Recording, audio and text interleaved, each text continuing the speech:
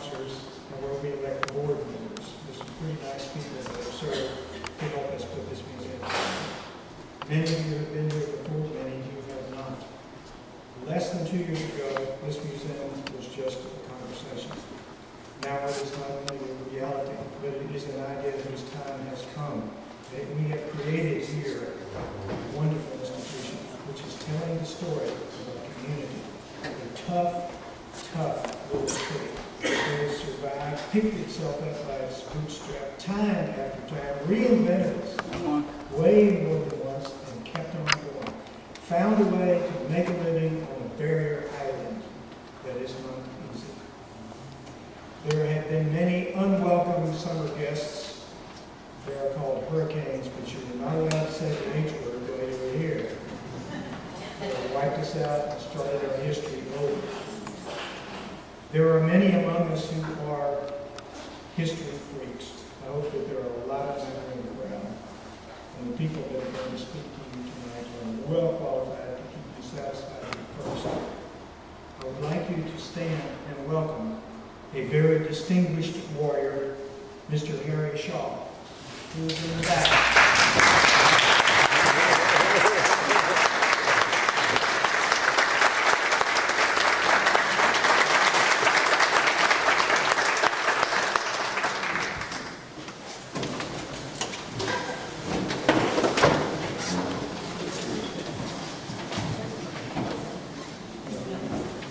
The next person I introduce is the acting president of the past president of PAPA. PAPA, by the way, is Port Aransas Preservation and Historical Association. It is easier to say PAPA. PAPA runs the museum. And it is PAPA's focus to see that Old Town is recognized as an entity. We're trying to preserve what is left of our little fishing village and actually it's working pretty well. And You folks can all help us in a lot of ways. One, just come to the lectures like we're doing now, with a free wine and cheese. Two, leave a few bucks in the box over. Over We here. need your donations. And we don't spend lots of of We're very Scottish people. And we run the place with a very, very thin budget because we don't have any spending. We try to run it with that which comes through the door, meaning the things we sell at the gift shop and the donations we get in the box. So you keep that in mind. Now I'd like to introduce to you our acting president, Sharon Stewart.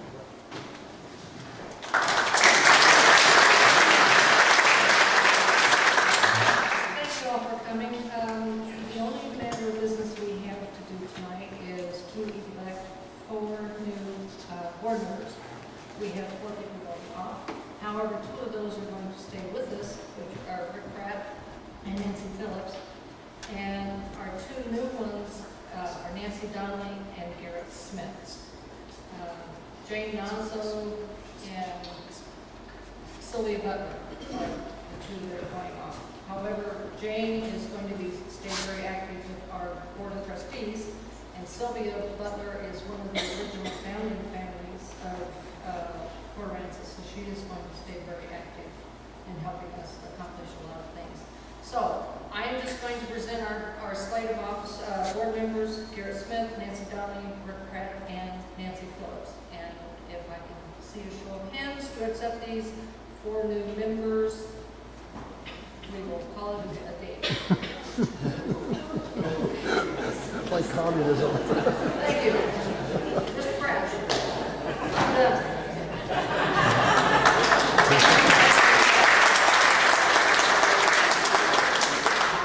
Now that's the way we do meetings in Port Aransas.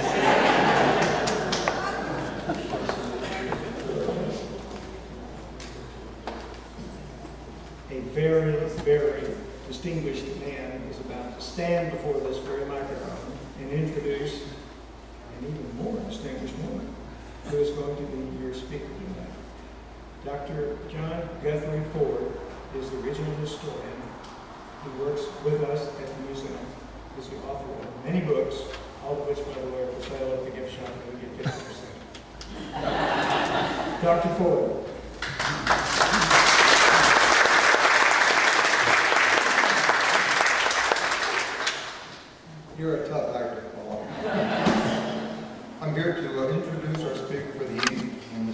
like to do so. She is a colleague of mine on the Nueces County Historical Commission, which is the arm of the Texas Historical Commission in Nueces County. In the state, each has a commission that represents the Texas Historical Commission. And Mary Jo is one of our members. In 1966, Mary Jo Ramirez received a baccalaureate degree in English and history from Centenary College of Louisiana. She then worked as a secondary teacher in the Corpus Christi Independent School District for 32 years, receiving a master's degree in interdisciplinary studies at Texas A&M University, Corpus Christi in 1973.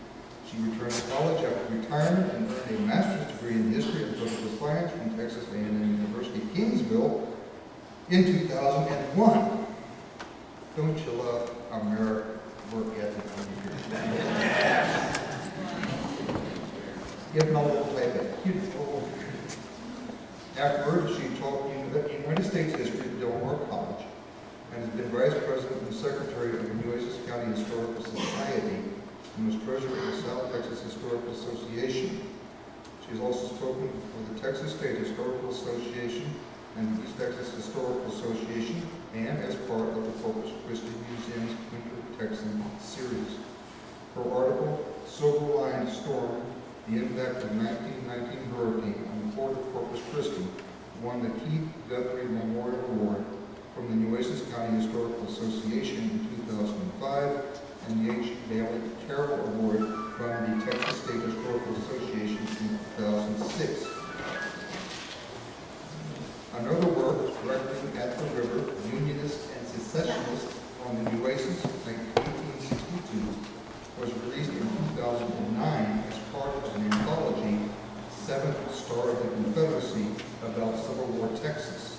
Her book, Storm Over the Bay, The People of Corpus Christi and Their Port, published by Texas A&M Press, also came out this spring.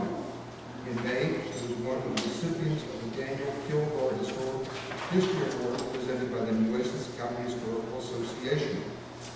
She continues to research early 20th century South Texas in between trips to visit her daughter, son-in-law, and two beautiful grandgirls in California. And I presume to pick up Nobel Prizes and other things. No further ado, would you uh, give it up for Mary Jo Lewis?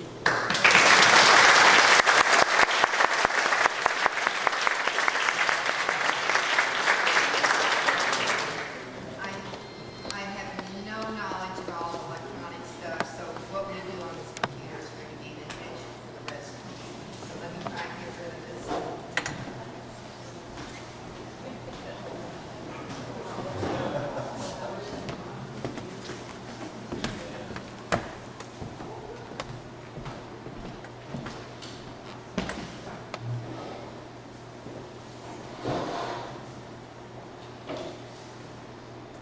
Okay, and I've got a, oh, that's nice. All right.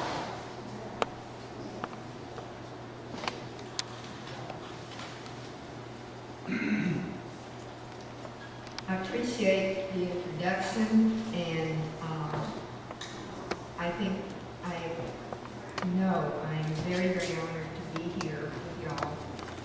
Uh, I've always enjoyed coming to Port Aransas and enjoying the museum uh, around June, and it's, it's just been a delight to be here.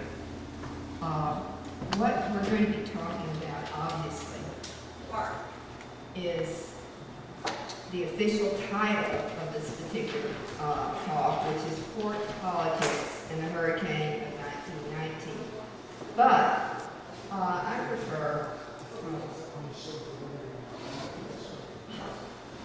I prefer the title, How Corpus Christi Got Its Port, according to the Kevin Bacon School of Interpretive History. And I kind of want to give you uh, the ex- explanation for this. Uh, You know, everybody has their own theory about history, and after I'd done an awful lot of reading and research about Corpus Christi and the port, it occurred to me that there was an awful lot of interconnections between Corpus and South Texas and the coastal bend and United States history, Mexican history, um, European history, world history, which I had never realized before. I'd always gotten off on Russian history and English history, and things like that. And then I began to realize how much had happened in this area. And I got the name from that game that was very popular several years ago, and I think still is, it was on the internet, it's the Kevin Bacon game. It was a bunch of people who worked in Hollywood, and they had gotten together one evening, probably after drinking or something, and started realizing that although they were all in the entertainment world, and they all knew of Kevin Bacon, they, none of them knew him directly, but all of them had a friend or a business associate who was connected to Bacon indirectly.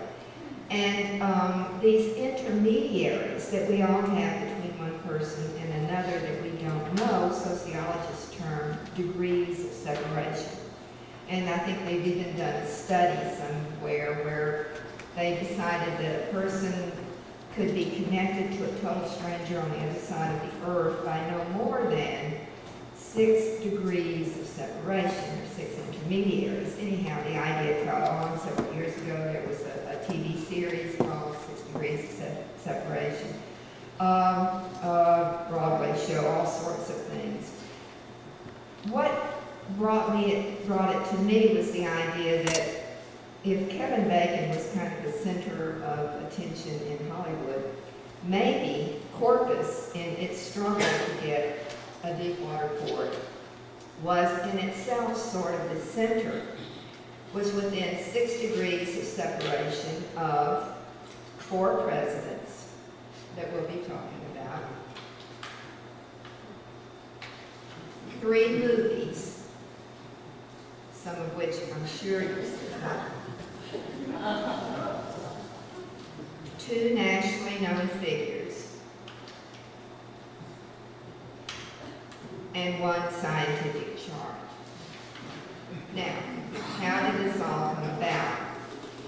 It all started, I recall, January 27, 1909, when a young Roy Miller received a late afternoon telegram from Congressman John Garner. Committee has just agreed to approve survey for 25-foot channel. Congratulations, signed John Nance Garner. Ecstatic after a frenzied day of long-distance last-minute lobbying, Miller and his business associates had good reason to be happy. For years, ever since the town's beginning in 1846, entrepreneurs had tried to develop Corpus Christi's geographic advantages. Vast fertile plains abundant with deer and prairie birds and droves of wild horses soared to a 50-foot bluff that dropped down to a large circular beach and raft bay. Protected on the east by a series of barrier islands and fed from the west by the Nueces River, the bay flowed into a quiet lagoon you're all familiar with, christened Laguna Madre, a natural passageway for vessels of all kinds. Whether one was maneuvering in from the Gulf of Mexico, 20 miles away, or sailing up from Port Isabel, Corpus Christi was a logical stopping off point. And over the years, three different railroad companies had extended their lines there. Since the end of the Mexican War, sheepmen and cattlemen had headquartered there, and new irrigation techniques were now bringing corn and cattle, uh, cotton farmers to the little town. By 1909, Corpus Christi had become the major retail center of Deep South Texas, but as a shipping center, it was a bust. Instead of huge ocean-going freighters, small skiffs and shallow drafted sloops crisscrossed the bay. It was they that hauled cargo to the wharves of Corpus Christi, cargo laboriously unloaded from larger ships that could go no farther inland than St. Joseph or Mustang Island. The problem lay in blocked passes, which y'all have this wonderful exhibit in the museum, uh, and a very, very deceptively shallow bay floor. Eventually, the U.S. Corps of Engineers stabilized the passes, but the depth of the bay remained so unpredictable that most big sea operators simply avoided Corpus Christi altogether, choosing instead to harbor in far more accessible island towns like Galveston. But the horrific 1900 hurricane set Galveston back, and new engineering developments created new opportunities. government ships were now able to dredge shallow areas into long, deep-water canals and had already turned Buffalo Bayou into a major shipping thoroughfare. If Houston could get a seaport, why not Corpus Christi? So civic leaders, Roy Miller and Forefront, began an aggressive campaign for a government-funded 25-foot deep channel cut across the bay floor from the Gulf through Laguna Madre to City Wharves. And on that cold January day, 1909, the had succeeded, but the Rivers and Harbors Committee would help them achieve that dream. But Congressman Garner had omitted a vital fact in his telegram to Miller.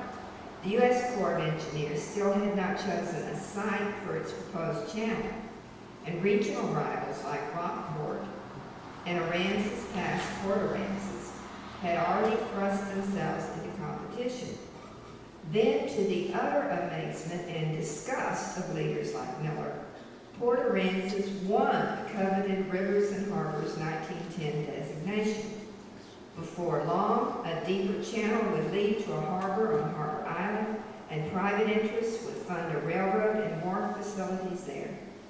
To get its deepwater port, Corpus Christi would have to start all over again and survive coastal rivals, political grafters, feuding factions, tropical hurricanes, and the most complicated reform movement ever to hit Texas.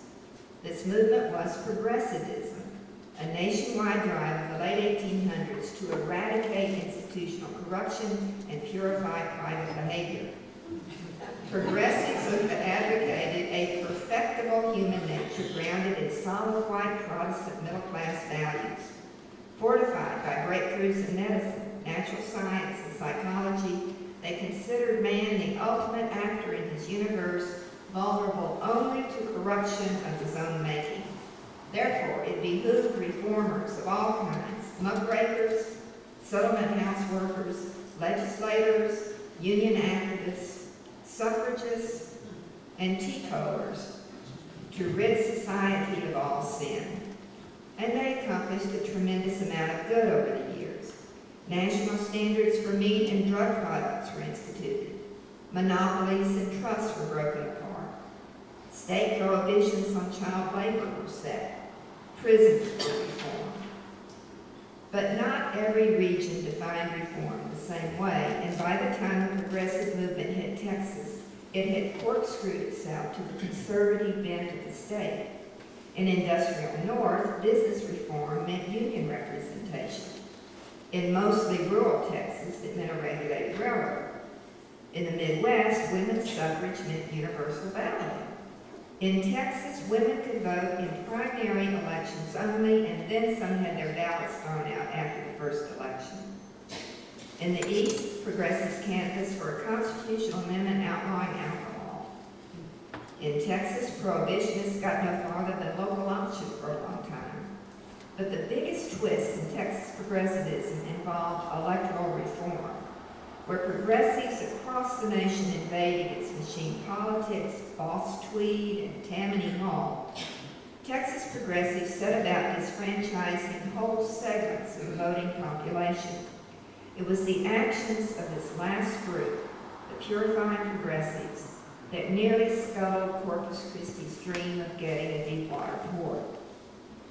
These purifiers targeted several groups, one of whom were Mexican Americans many of whose families had been part of the Trans-Nueces Valley since it belonged to Spain.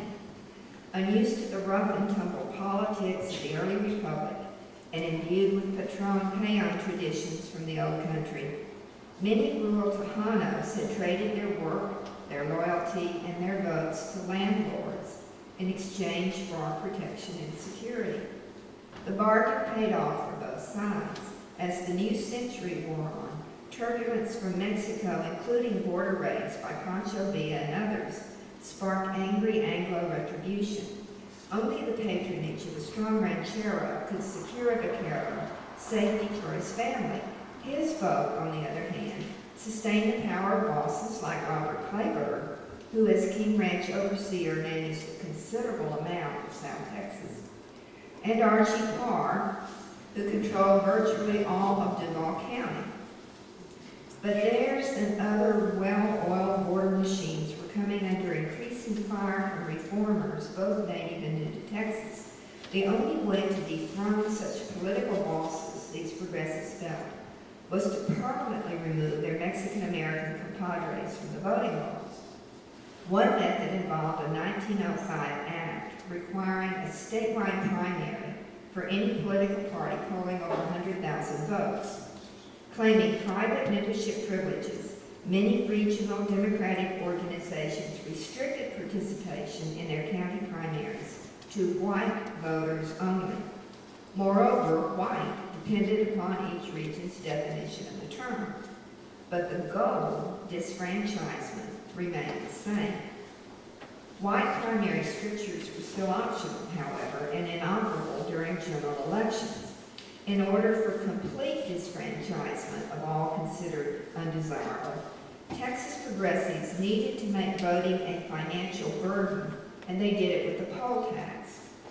Ostensibly written to benefit the public schools, the 1903 measure charged a baseline registration fee of $1.75, amounting to almost 1% of a farm family's annual income. An additional dollar added by some cities brought the total to 275. For hotel porters or railroad foremen, the outlay amounted to at least one-tenth of a week's salary, nearly all of a holiday's pay, equivalent of a college instructor having to pay $76 to pay today, to vote today. Yearly renewal, along with a short six-month window in which to register, contributed to the requirements. Between the increasing numbers of white primaries and the state imposition of poll taxes, the result in the next election was an electorate cut to almost one-third its earlier size. But there was an unexpected backfire. South Texas political machines had managed to survive.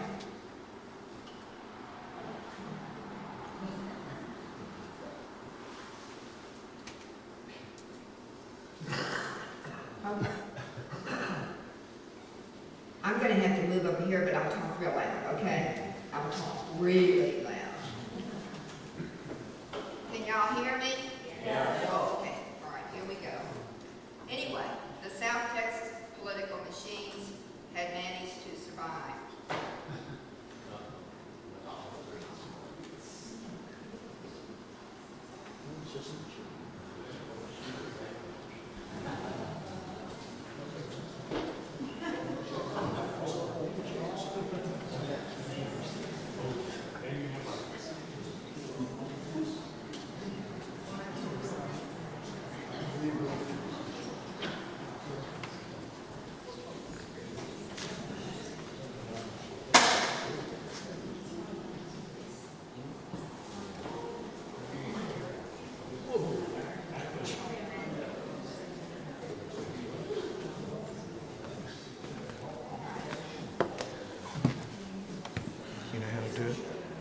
Not, not with a PC.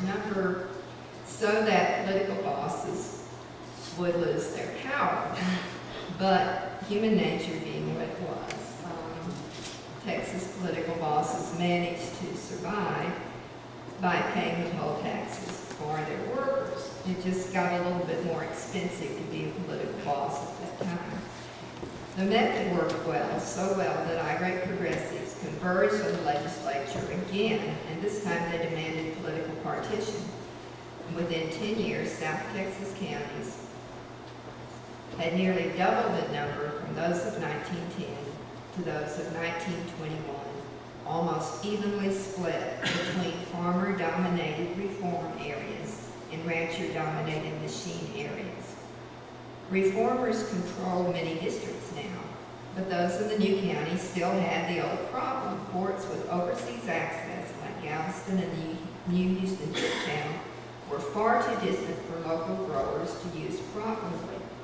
Regardless of their politics, South Texas farmers needed a closer, cheaper port. So Robert Kleberg, so recently castigated as a vote-controlling patron, suddenly becomes a progressive hero. His control of workers' votes could be overlooked, these reformers felt, in favor of his ability to persuade the federal government to build a deep sea port in the coastal Bend, and he already had his man in place to do it, Roy Miller. Roy Miller converged on the city in 1905 with the charisma and charm of a new man of the South. Educated, ambitious, and enthusiastic, he quickly married into one of the most respected families in the city and received an extra bonus when his wife's sister married Richard King's grandson a year later. Now connected to King Ranch interests by in-laws as well as by inclination, he became a determined advocate for regional economic growth, seeing no distinction between personal gain and public good, so long as it benefited his newly adopted city. And benefited he did. During three terms as mayor, Miller beautified the uptown bluff, paved downtown roads, and built mile bridges and causeways to make outlying areas urban. Aligned with Robert Kleberg and other progressives along the Nueces, he believed the key to Corpus Christi's greatness lay in the securing of a deepwater port, and he spent much of his time in Washington and Austin laying the groundwork for the government approval. But here Miller ran head-on into another protege of political boss, Walter E. Pope. Older but just as opportunistic, Pope already had a thriving law practice in East Texas when he was offered a partnership by one of Corpus Christi's leading attorneys, G.R. Scott. Within a year, the younger man had shut down his Madisonville office, packed up his belongings, his buggy, and his bride, Scott's only daughter, Lucille, and relocated to the Gulf Coast. Less than three years later, he had inherited his father-in-law's firm, imported a new partner, and moved with Lucille into her mother's house on the bluff. Ascending an insurgent's mantle, he joined the strong anti-Kleberg administration in the city, then campaigned actively against Miller's election as mayor in 1913. But their real clash came with affiliations. His alliance with King Ranch Enterprises was solidifying Miller's stake in the progressive camp of South Texas, while Pope hitched his political wagon to the antichrist of progressives, Archie Parr. like Robert Kleberg, Parr had survived poll taxes and partitions to emerge an even more powerful political boss in his own domain. But Parr was overt, blunt, and violent, while his machine-dominated Duval County landslides became a tradition in South Texas politics. Also, unlike Kleberg, Parr promoted himself. By 1914, the old guard Democrat had become a member of the Texas Senate, and two years later brought Walter Pope into the State House as representative for South Texas. For a while, both sides, progressives and old guards, united in the struggle to get state and federal funding for a Corpus Christi port. Within two years, Parr and Pope had pushed a bill through the legislature to provide partial funding for the channel. But the statewide driver reform was overtaking the local fight for deep water. By 1918, progressives had already removed one governor from office, put another in his place, and with the support of the president's attorney general, had sentenced five Nueces County officials to jail for voter fraud. Now they turned their sights upon unseating Senator Parr. Kleberg's led the charge, but the crown jewel of the progressive onslaught was Roy Miller, and he let the inductees fly. Duval County was a carnival of corruption and fraud, he declaimed, where men and women not citizens of the United States who could neither read nor write were used by the machine to pile up the fictitious majority necessary to give Mr. Parr the votes he needed. Conventions that endorsed Parr were packed at the 11th hour by Aztec henchmen from the Rio Grande. And supporters of Parr were purveyors of booze and vice, of purchased governors, of salary brewery lawyers, of corruptionists of every hue and kind who for years have not hesitated to traffic in the very bodies and souls of men and women.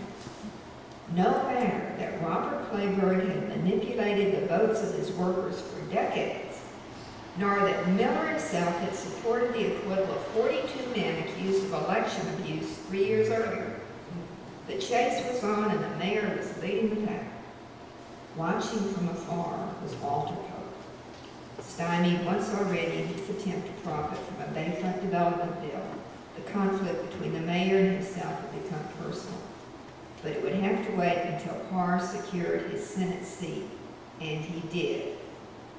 Progressive, statewide, and national retired in defeat. It was time to rest and regroup. But battles in Corpus Christi were just beginning. Within four days of Parr's victory, a small announcement appeared in the Caller. Miller's position as mayor was being challenged by Walter Pope's own partner, Gordon Boone. But the big bombshell came days later. In a strident and explosive ad that ran in every local paper, Boone accused Miller of taking payoffs amounting to over $300 a month from a secret group of businessmen. Roy Miller, that bastion of progressive virtue, that advocate of good government so quick to criticize Parr and his minions, had been receiving illicit funds for almost a year. A series of ads threw Miller's self-proclaimed piety back at him. It is safer to vote for a man with a conscience, and a man who only wants to do right will consult that conscience before consulting his lawyer. For Miller had consulted his lawyer. The first article to refute Boone's allegation was written by the city attorney, but his argument that Miller had indeed taken the money, but only as a form of employment by businessmen of the city to advance the commercial and military interests of Corpus Christi, fell abysmally. What did emerge was Miller's deep hatred for his old antagonists, and a genuine fear that his years-long struggle for the Deepwater Port would result in a wholesale donation of the waterfront to a few schemers. By the end of the campaign, he was almost incoherent in his appeals to the public to support his reelection. The answer lay with the electorate, and new progressive restrictions on literacy and citizenship had already decimated poll registration. By the time the last ballot was in on April 1st, 1919, only 938 had voted, an almost 40% decrease in turnout from four years earlier. Nor were the results any better for Miller. Although he kept the support of the business community, the remaining precincts had turned against him some by as much as 60%. Boone and Pope's carefully selected city council were now in charge of Corpus Christi politics, and Roy Dar's direst fears that Bay and Channel development would be ignored began to come true. Within two months after taking office, the new city council had become mired in a lawsuit, tangled in a bank controversy, and immersed in personal arguments. No work was being done for the port. The drive was gone. The momentum had fled the city. The optimism of the progressive era had dissipated into disillusionment, disgust, and despair. A long, hot summer settled over Corpus Christi. Then the hurricane struck. Circling west from its origins in the Caribbean, this particular storm had approached the city slowly, so erratic that storm signals were taken down for a few hours the day before it hit. Some were wary. Early that Sunday morning, Miller hastened his wife and four sons to a downtown hotel, striving for a better shelter than their beachfront home. Walter Pope, just returned from a speaking engagement, stayed secure in his mother-in-law's home on the hill, as did Gordon Boone, who lived with his wife and daughter some blocks over. But few others took warning. Natives of Corpus Christi had long ago determined that a 50-foot-high bluff protected them from nature's incursions, and the fact that most businesses, two hospitals, several hotels, a military tent city, and a new housing subdivision were on a beach three feet above sea level seemed to have simply escaped people's notice until the hurricane struck. Arriving in full force by 3 o'clock Sunday afternoon on September 14th, its surge tide swept across two barrier islands carrying drowned cattle, humans, and barrels of crude oil. Crashing onto the beachfront of the city, it merged with the waters of the Back Bay, creating 15-foot waves where homes had stood six hours earlier. The accompanying winds, thunder, lightning, and rain blended with the screams of children ripped from their parents' arms and babies sucked under the wreckage. By the time dawn broke on Monday morning, the Corpus Christi bayfront had ceased to exist, becoming instead a turgid wallow of drowned humans, twisted trolley cars, floating lumber, rotting carcasses, and uprooted trees, none of which became apparent to bluff residents until they emerged from their homes and looked down. The shock was traumatic. Original counts estimate that over 600 died that Sunday and damage on the bayfront totaled over $20 million. More than 4,000 were homeless and hospital and medical facilities were non-existent. The demands upon municipal leaders were overwhelming. So Mayor Boone asked for help. Within 24 hours, he had contacted the U.S. Army, the Red Cross, and Roy Miller. 24 hours after that, the General Relief Committee was born. Headed jointly by Boone and Miller, the committee put every political leader in the community to work.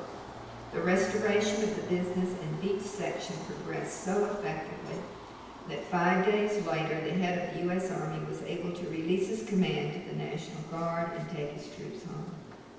And if such antagonistic factions should unite so readily to clean up the city, what else could they not achieve? The answer came at a special meeting held October 1st with Congressman Carlos Speed from Washington. We want to build a seawall, said Mayor Boone. He then spread out a map showing how it would be possible to construct a seawall around the city and into Nueces Bay, thus providing a fully protected land-backed harbor which could handle shipping of all classes. A seawall had become the key to the port hooking its construction to that of a land-backed international maritime harbor, removed the Deepwater port from partisanship and made it a practical necessity and a lot easier to sell. The race was on again, and this time rejuvenated by survival, virtually every political and property owner along the Nueces Strip became involved, this time determined to outmaneuver old rivals like Rockport and Port Aransas. By May 1922, Corpus Christi had been designated the site for a new deepwater port. So the port was built. Its deepened channel, cargo docks, and turning basin taking form within five years after initial construction began. Ecstatically, says city leaders chose September 14th to dedicate the port, seven years to the day the 1919 hurricane hit. Of the men who stood on the platform on Dedication Day, 1926, Archie Parr was least changed by time. So necessary to the court that the Corpus Christi caller now lauded him, one of the outstanding state senate, Parr continued to wield power bluntly and openly, and was especially quick to punish upstarts, even as he had done his closest supporter, W.E. Pope. Rising triumphant from the Miller mayoral defeat, Pope dared to dream of the gubernatorial chair. So he left his seat in the House, entered the 1924 race for governor, and failed to even make the runoff. But possibly the greatest blow came in a letter from his erstwhile protector. When I saw how things were going, Parr wrote after the primary, I gave my vote to your opponent. Sorry. Introduced to the dedication crowd only as their former state representative, it would be another year before Pope could run once more for his old seat. One who would never run again or ride was Robert J. Kleberg, chosen as honorary chairman of the Port Celebration Committee because of his long fight for a Deepwater port. Kleberg was not on the platform with the others. He had suffered a stroke just months earlier that left him crippled and near death. His sons would have to continue his legacy. All they needed was someone to show them the ropes. And that's just what Roy Miller was planning to do. His brilliance bringing people together for the port secured him a place in the celebration. But the secret sour remained like a sore tooth, souring his image in the mind of the public. That and the loss of his baby son and namesake just a year after the storm had blunted the vaunted enthusiasm of the boy mayor of Corpus Christi. He and his wife would stay in the coastal bend and raise their remaining three boys, but his role would now be behind the scenes, pushing Kleberg interests in his own and other ways. As the ceremonies wound down on dedication day, not a few thought back to that cold January 27, 1909. Only 17 years had passed since John Nance Garner sent that excited telegram to Roy Miller, but a lot had happened. Progressivism peaked, prohibition seemed entrenched, and poll taxes had robbed two-fifths of the city's populace of their votes. An entire era had ended by 1926 but Corpus Christi got its Deepwater port. Now, the connection. What has this to do with degrees of separation, or as I prefer, Kevin Bacon? First of all, the movies. Uh, I'm sure a lot of us remember Oh Brother, Where Art Thou? Um, it was one of the classic Coen Brothers films that came out several years ago, and the music from it won a Grammy year. If you've seen it either in the theater or on DVDs or on TV, you know the opening scene, the uh, protagonists, these three right here, are escaping from a penal farm. Now, what is this to do with Corpus Christi? At the end of that voter fraud trial in Corpus Christi in 1915 I was telling you about, remember there were five defendants who had been convicted. Three of those defendants were sentenced to the federal penitentiary and two to the county jail. Had they served their time, those in the county jail would have been part of the transition from the convict lease system. And that's what you have on your left. This is the way prisoners have been treated for decades in, in the counties and in the state of Texas. Literally had been chained, uh, their labor would be leased out to landowners or farmers, and um, whatever happened to the convicts under those leases happened. You know, there was no responsibility. It's extremely brutal system. Well, this was going under changes because of the progressives, and they were going to a more progressive penal farm system, which is where the movie takes place, in a very nice, clean, colorful penal farm. This picture on your right is a scene from the actual penal farm uh, that the photographer was, in. It's the latrine section. And I swear you can smell it from here. So real reform didn't start in the prison system until the 1920s. Now, the next film, and starring Pancho Diaz himself. This was an HBO film that came out several years ago with Antonio Banderas in the role of Pancho Villa, and he made a magnificent Villa. What had this to do with Corpus?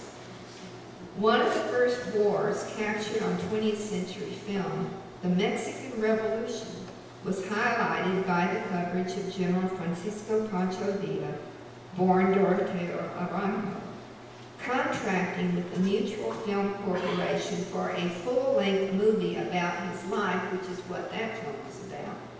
Villa became a true media hero and made the revolution real for many Americans. His subsequent invasion of New Mexico in 1916 never diminished his mythic status, but it heightened fears of citizens on both sides of the border. In July, President Wilson federalized the state's militia into the National Guard, and over 100,000 men from all over the country were patrolling the U.S.-Mexico boundary line by November 1916. Many were still stationed there after the end of World War I, and 22 of them, who had come to Corpus Christi to set up a rest and relaxation camp, were killed by the September hurricane of 1919. Giant.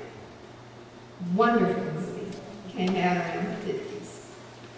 For those people that remember back then, and I do remember because my mother and grandmother were members of the Book of the Month Club and both had read the novel Giant that was written by Edna Ferber.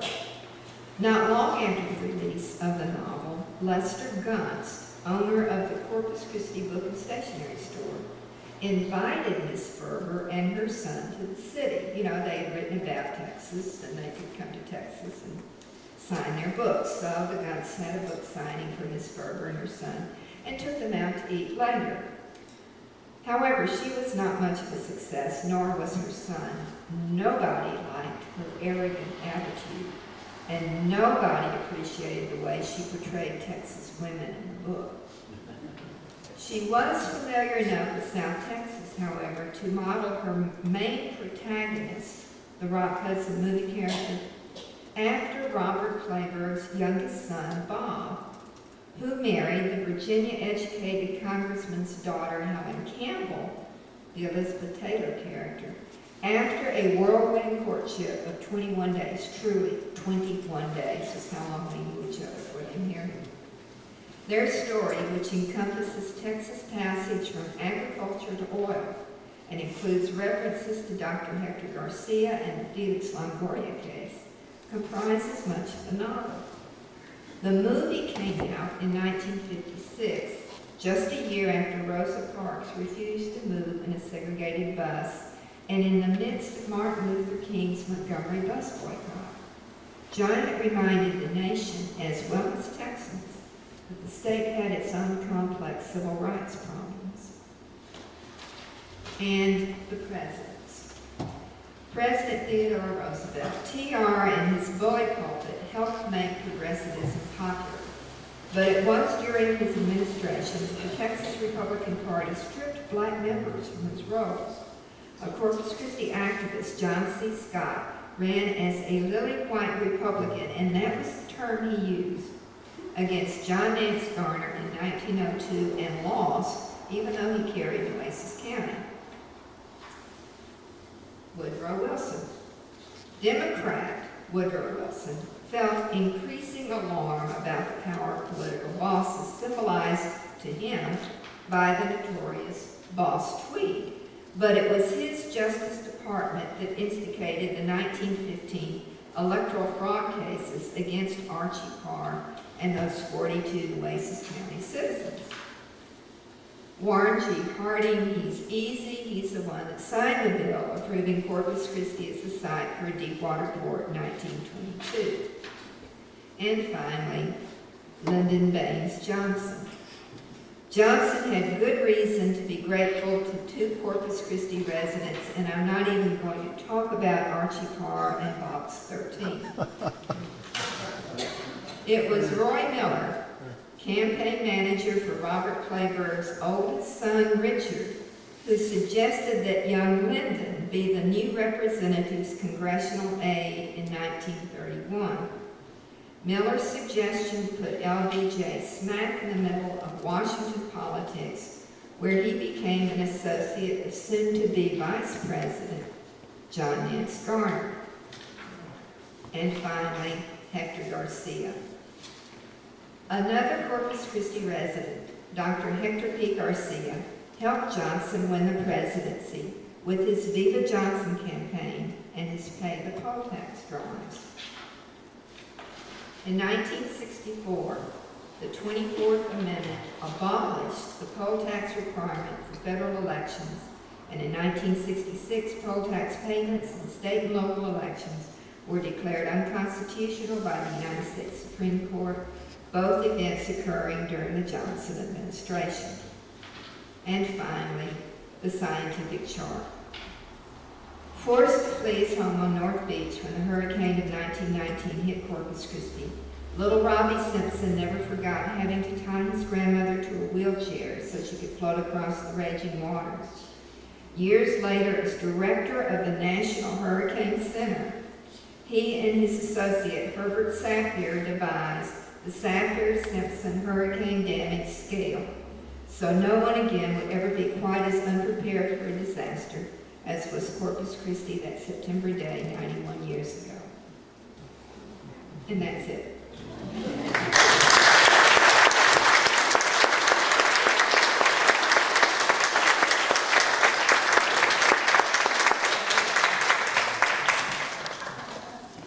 Wow. Anyone have questions? We can take questions? Oh, yeah, No questions. Okay, I'm gonna tell y'all about Jimmy Dean, James Dean, from the movie Giant. He also portrayed a real person who was a very famous Houston millionaire. So that character was also taken, that based, based on real life. I just had to tell you that because I love you.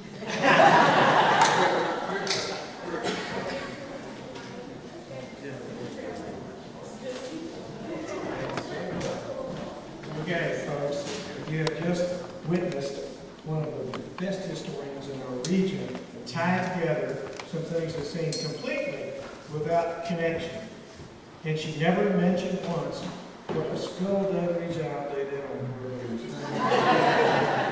Now, we can thank them really because had we stayed the major port, can you imagine what a mess this beautiful island is? So we're glad. Now, her book is right back there.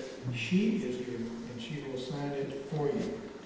And I forgot to mention that we are beholden tonight to the help of, excuse me while I get my eye. Humanities Texas, which is an affiliate of the National Endowment for the Humanities, is co-sponsoring this entire series. And the other half of it is coming from folks like you who brought it back in. How's that pick up the audio? Does it pick up the audio? Does that pick up the audio? So the speaker, uh, the receiver here? which is the twenty-fifth month, I believe, uh, which will be dealing with, with Fort Semmes. Have any of you ever heard of Fort Semmes? Fort Semmes is a Confederate fort, or fort, here on, on the tip is what's going on. I'll bet I spent, I don't know how many hours at the computer trying to find out what happened to it, who started it, what, what was going on there.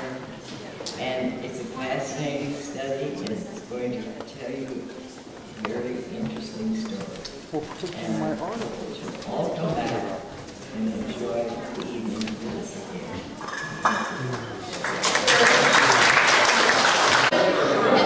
They, they didn't know that the garrison had been rescued.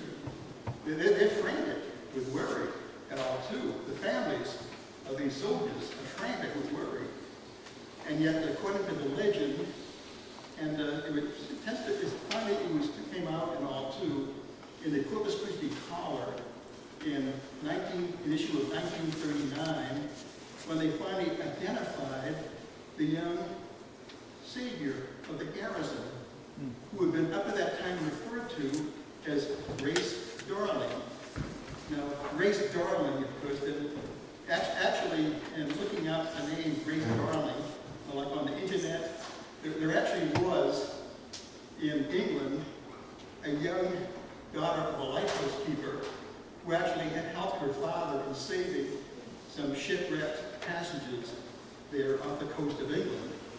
So he's it's kind of like the pseudonym then for this heroine who supposedly rescued the garrison of Fort Semmes. And then, uh, okay, this is the account in the Corpus Christi Caller. There's got to be this. The reporter for the Corpus Christi Caller wrote the story, even as he identifies, finally, the, per- the, the, girl, the woman has now died, so now they feel that they can finally reveal the name. She didn't want to be identified because she considered to be un- unmaidenly, unmaidenly for a young fourteen-year-old girl to actually pilot a ship at all too, with the, uh, uh, with the soldiers aboard. So the article reads, when the first ships bearing troops of the Federal Army arrived offshore at Aransas Pass, there were only a handful of Confederate soldiers on Mustang Island and none on St. Joseph's, with nothing but muskets to defend the pass and no fortification, they were in imminent peril. Two, without their aid, Corpus Christi would quickly fall hands into the hands of the Northern Army. Hurriedly, the Confederates prepared to leave. Then it was found out that the only two men who knew the narrow twisting channel around Catfish Bend through Redfish Bay by McGloin's Bluff and across Christi Bay were not present. And without a pilot, it would be impossible to get through. Something must be done, and at once. They would not surrender. They would choose a soldier's death, die fighting. It would be best to retreat to the sand hills. Then the 14-year-old girl spoke up. I know the channel, she asserted. I will take you through. With this child, later known as Grace Darling, at the helm, the soldiers arrived in Corpus Christi. So the legend, uh, all the way up to 1939, and I thought surely, you know, maybe it would be recreated elsewhere and no one elsewhere and all too, but uh, thing is that the article finally revealed the name of the 14-year-old girl, and her name was Priscilla Stevenson. And the man, actually, the man she's going to marry was one of those, actually, Henry Hawley, uh, was also one of the men who was in the garrison here too. But uh, it just, it just does not make sense at all. It just, uh, they're waiting for news, they're frantic. In, in fact, uh, the uh, General Hamilton Bee, who had arrived in Corpus Christi, uh, was, had actually sent out,